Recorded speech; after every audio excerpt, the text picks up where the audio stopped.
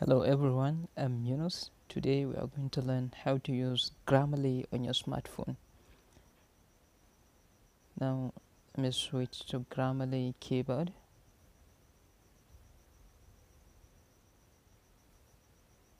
Make sure you have internet connection. It checks um, correct English grammars, punctuations and more.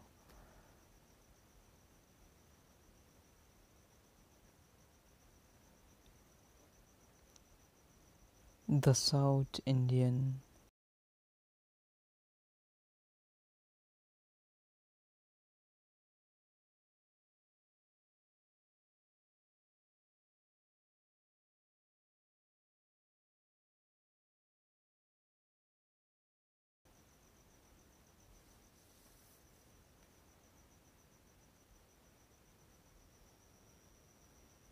That's it.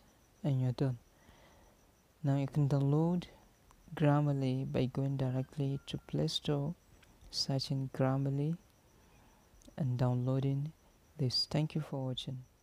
Subscribe and like my video please